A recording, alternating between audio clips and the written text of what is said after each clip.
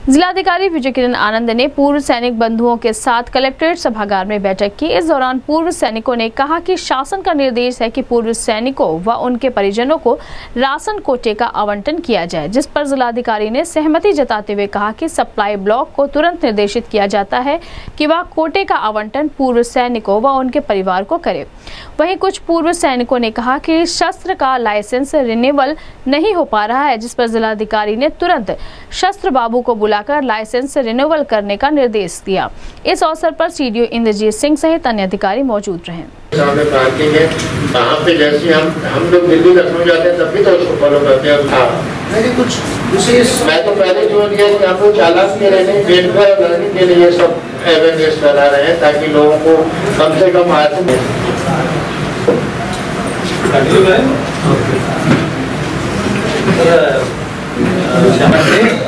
नहीं हो पाई हालाँकि हम लोगों ने एक ईएसएम रैली ज़रूर की अपनी, और जिसमें हम लोग सभी मिले थे। तो ईएसएम रैली में प्रशासन की तरफ़ से हम अच्छी तरीके से जिलाधिकारी महोदय का अभिनंदन प्रकट करें साथियों के साथ। सस्ते सरकारी राशन की दुकान का आवंटन। इसमें पूर्व सैनिकों एवं उनके आश्रितों को वरीयता देने की कृपा करें। तो इसमें सर, पता होती है, लोगों को कि कहाँ पे क्या है, कहाँ पे अप्लाई करें। इस वजह से क्या होता है बहुत सारे मेरी तरफ़ से सप्लाई डिपार्टमेंट को आदेशित कर दीजिएगा कि शासनादेश का पालन किया जाए। शासनादेश में खुली बैठक में पास होने का होता है। और अगर ग्राम पंचायत चाहे कि वरीयता देनी ग्राम पंचायत मतलब ग्राम सभा। ग्राम सभा को पारित कर देगा प्रस्ताव तो हो जाएगा। इसमें पाँच परसेंट रिजर्वेशन का हाँ नहीं नहीं रिजर्वेशन का है लेकिन ग्राम सभा का प्रस्ताव होता है। तो आप उसको मेरी तरफ़ से लेटर कर दीजिए शासनादेश का पालन हो। आगे से जो भी रिक्तियाँ निकलती हैं अभी तो रिक्तियाँ नहीं है।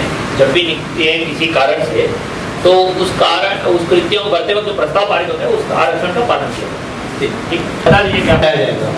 और उसके बाद एक पूरी पूरा प्लान बनेगा जिसमें कि मूर्ति का स्थापना का जो कार्य है काफ़ी दिनों से बंद पड़ा हुआ है। हमारे पूर्व सैनिकों का जो कि ऑनलाइन अभी हो नहीं पा रहा है। मैंने खुद ही कितने लोगों का तो कई लोगों का ऑनलाइन है सर पुराने शस्त्र ऐसे नहीं नहीं, हमारे जितने भी शस्त्र धारक हैं इंडियन सॉफ्टवेयर में फीडिंग का काम चल रहा था पिछले छह महीने। पाँच हज़ार उसमें मिसिंग मिल रहे हैं। अगर किसी का नहीं, हमने विज्ञप्ति जारी की थी कि कृपया आ जाइए, अपना लिखाइए ताकि हम फीडिंग करा लें। आप ही को फीडिंग कराना है उसको। तो एक बार सिटी मजिस्ट्रेट साथ मिल लीजिएगा। हम लोग दस पंद्रह लड़के रखते हैं फीडिंग करवाए हैं, पंद्रह हज़ार लाइसेंस उसका ऑनलाइन अगर किसी सैनिक परिवार का छूट गया है तो आप बता दीजिए हम करा लेंगे।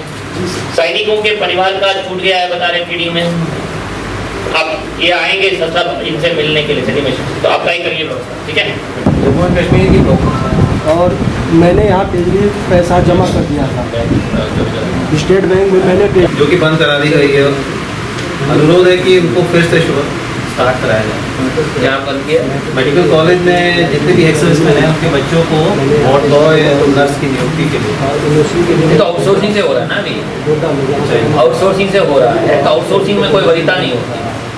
वो तो हम कंपनी को ऐड करते हैं कंपनी सेवाजन पोर्टल से। अगर ये भी फिर अब ये आउटसोर्सिंग के माध्यम से ही हो रहा है तो इसमें शासन द्वारा कोई वो नहीं हो पाएगा। हाँ नहीं वो मैंने